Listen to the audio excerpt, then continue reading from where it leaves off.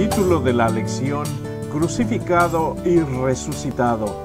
Nuestro texto inicial se encuentra en Evangelio de Mateo capítulo 28 verso 18. Toda potestad me es dada en el cielo y en la tierra. Un aviso en una revista británica pedía a alguien que estuviera dispuesto a donar su cuerpo a la ciencia. Los científicos habían estudiado la momificación egipcia y buscaban a un voluntario con una enfermedad terminal que quisiera donar su cuerpo después de su muerte. Ellos creían que habían hallado el método de los egipcios y que el cuerpo sería preservado potencialmente por centenares o aún miles de años. Como cristianos no nos interesa preservar nuestros cadáveres. Dios nos prometió algo mucho mejor.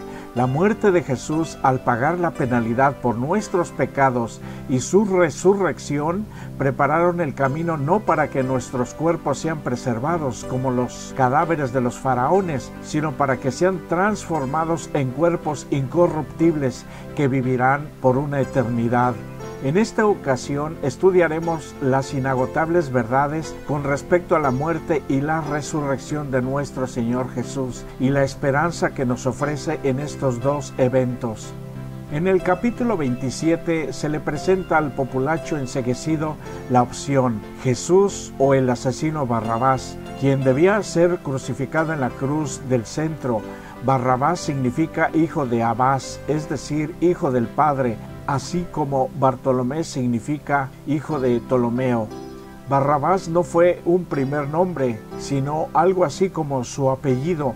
Muchos manuscritos antiguos informan que el primer nombre de Barrabás era Yeshua, Jesús. Yeshua era un nombre muy común en esa época y significa Yahvé salva. Así el nombre de Barrabás resultaba ser Yahvé salva, hijo del Padre. ¡Qué farsa! Este hombre había aseverado ser el Mesías, un libertador, pretendía tener autoridad para establecer un orden de cosas diferentes para arreglar el mundo. Dominado por el engaño satánico, sostenía que le pertenecía todo lo que pudiese obtener por el robo. Había hecho cosas maravillosas por medio de los agentes satánicos, había conquistado secuaces entre el pueblo y había provocado una sedición contra el gobierno romano. Bajo el manto de entusiasmo religioso se ocultaba un bribón empedernido y desesperado que solo procuraba cometer actos de rebelión y crueldad. Al ofrecer al pueblo que eligiese entre este hombre y el Salvador inocente, Pilato pensó despertar en él un sentido de justicia, esperaba suscitar su simpatía, lástima o compasión por Jesús en oposición a los sacerdotes y los príncipes. Pilato se equivocó, al igual que Judas, en sus cálculos de quedar bien y además obtener una ganancia por medio del Hijo de Dios. Al igual que el pueblo, cualquier persona, a menos que esté bajo la convicción del Espíritu Santo, hará siempre elecciones equivocadas. Al fin, todos tenemos que elegir entre Cristo y Barrabás. Cristo y el mundo corrompido, también entre la vida o la muerte. Y esta es la condenación, que la luz vino al mundo y los hombres amaron más las tinieblas que la luz, porque sus obras eran malas. Nuestra naturaleza pecaminosa tiende a hacer equivocadas elecciones y acciones. Pecado significa también errar en el blanco. La gente suele preferir más las tinieblas que la luz y es triste que sabiendo todo esto incluso puede pasarnos a nosotros. Esto nos dice la realidad de nuestra naturaleza caída y por eso la urgencia de entregarnos totalmente al Señor Jesús. En el capítulo 27, Mateo registra lo que los teólogos llaman el grito de desamparo de Jesús en la cruz. Desamparo da la idea de abandono, de alguien con necesidades. Vemos aquí que Jesús sintió el abandono del Padre debido al pecado. Aún el Padre no pudo estar con su Santo Hijo en el momento mismo que fue puesto todo el pecado del mundo sobre él. Dios no puede soportar el pecado, es ajeno a toda la maldad. Aún así, sabemos que Dios ama al pecador, pero ha hecho todo para que dejemos ya el pecado. De otra manera, un día al final destruirá toda la maldad de este mundo y a nosotros incluidos si es que no hemos dejado de pecar. El amor de Dios no puede ir más allá de nuestra propia decisión de querer seguir en el pecado. A todos da su tiempo de oportunidad. Es precisamente en esta vida. Las tinieblas que rodeaban la tierra en esos momentos simbolizaban el juicio divino. Jesús estaba experimentando en sí mismo las horrendas consecuencias del pecado, la completa separación del Padre, que debió haber sido la nuestra. Así también Cristo fue ofrecido una sola vez para llevar los pecados de muchos y aparecerá por segunda vez sin relación con el pecado para salvar a los que le esperan pero vuestras iniquidades han hecho división entre vosotros y vuestro Dios, y vuestros pecados han hecho ocultar de vosotros su rostro para no oír. Esto no era una simulación. Jesús realmente cargó la ira de Dios contra el pecado. La penalidad por nuestras transgresiones cayó sobre él y su alma se llenó de espanto al cargar el peso de nuestra culpa sobre sí mismo y quebrantó su amante corazón por todos nosotros. Cuán malo es el pecado a la vista de Dios que requirió que un miembro de la deidad sufriera el castigo para que seamos perdonados. Y aún en medio de este horror, Jesús pudo exclamar su confianza en Dios. Dios mío, Dios mío. A pesar de todo lo que le sucedía, su fe permaneció intacta, se mantuvo fiel hasta el fin sin importar el sufrimiento. Todavía nadie puede sentir la separación total de Dios por causa del pecado mientras viva. Por eso fue la intervención de Jesús para darnos otra oportunidad. Pero llegará el día del juicio y será lo más terrible que la historia humana haya contemplado. Reclamar entonces la justicia de Cristo es nuestra única manera de regresar, un reclamo acompañado de agradecimiento, arrepentimiento, confesión y una resolución de abandonar todo pecado con su ayuda divina. En la Biblia cada evangelista contó la historia de Jesús desde una perspectiva diferente, pero todos se concentraron en su muerte. Sin embargo, solo Mateo en el capítulo 27 registra el velo rasgado y las tumbas abiertas. Jesús murió inmediatamente después de que la turba, ignorando las palabras reales de él, se burlaron y era otro ejemplo triste del modo en que Jesús había sido mal comprendido por muchos de su propio pueblo. Mateo luego registra que el velo del templo se rasgó de arriba abajo el simbolismo es inconfundible. Había comenzado una nueva era en la historia de la salvación.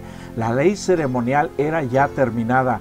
Los servicios de sacrificios que por tanto tiempo habían señalado hacia Jesús ya no eran necesarios. El antiguo tipo terrenal se reemplazaba ahora por el tipo celestial, por el real por el servicio del santuario celestial oficiado por Cristo mismo allá en el cielo.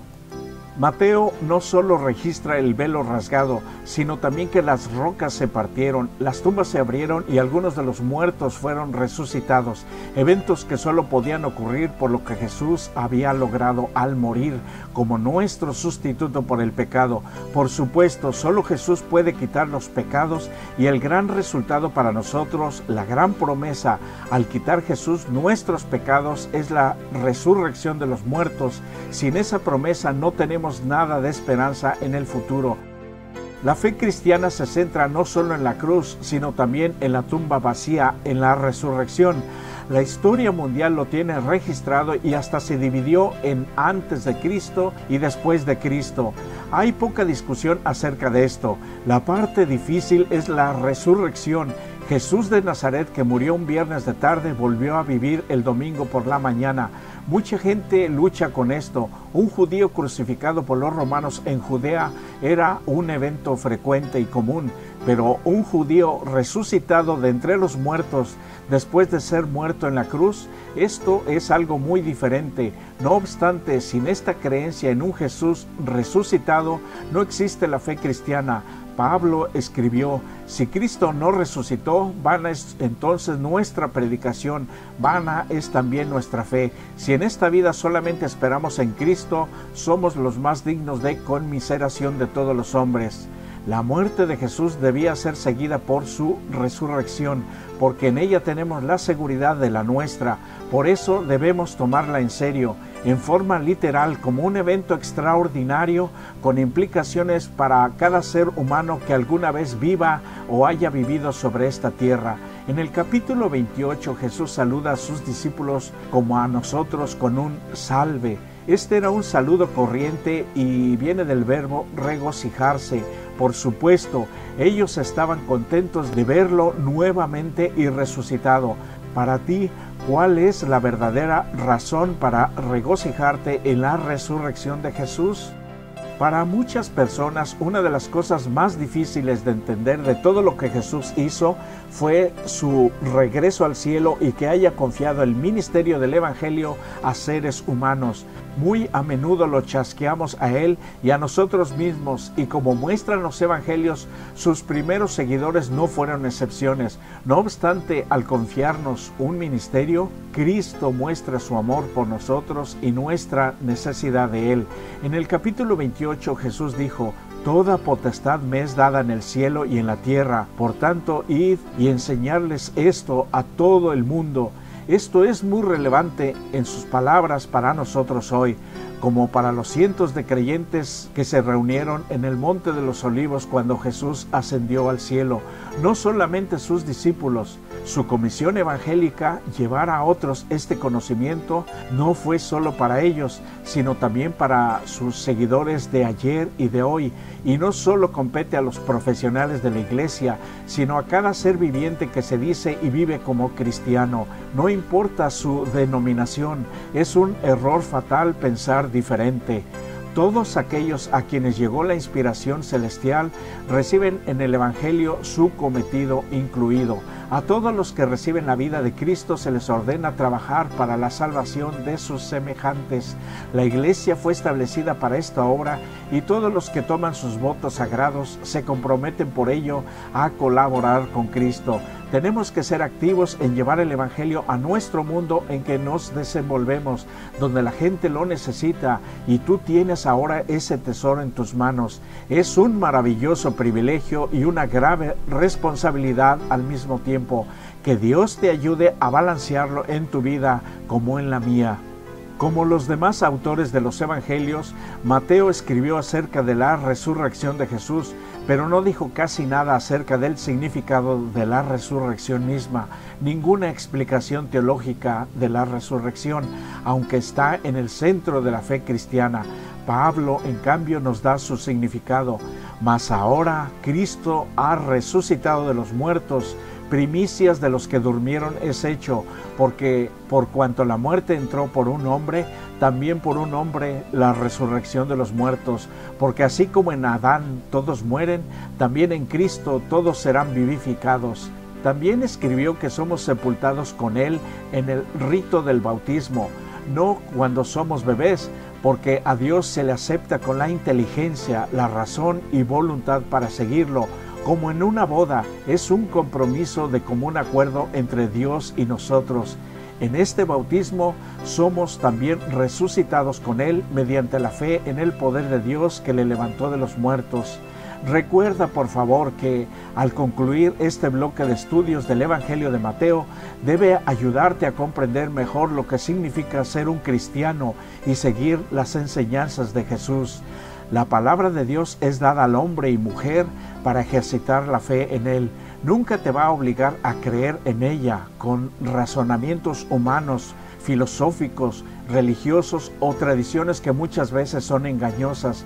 Solo te pide Dios creer en lo que ya dejó como una herencia para ti si así lo decides voluntariamente, todo el cúmulo de falsedades, filosofías humanas, tradiciones religiosas y engaños que han asustado a tus antepasados y a ti por muchos años caerán ante tu vista como un efecto en cadena y serás libre, confiado y feliz con Jesús para vivir la vida plena y cumplir tu verdadero propósito por el cual viniste a nacer y existir en esta tierra en este específico momento tan importante para la historia humana. Te deseo que como yo tomes tus mejores decisiones en lo que Dios dice y no en lo que el hombre dice. Por favor, Asegúrate de ello, pues está en juego tu salvación, tu propia vida eterna con Jesús. Que sea Él quien te guíe y te bendiga. Son mis mejores deseos para ti. Amén. ¿Qué más podría hacerse? Ahora no tiene importancia si voy hacia allá o vengo hacia acá. No importa dónde vaya, allí tú estás.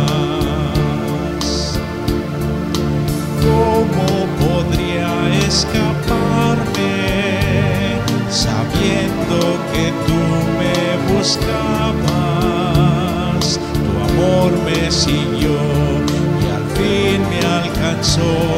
Me rindo ante ti, Santo Conquistador. Que ves en mí, Santo amor, aún en mi situación.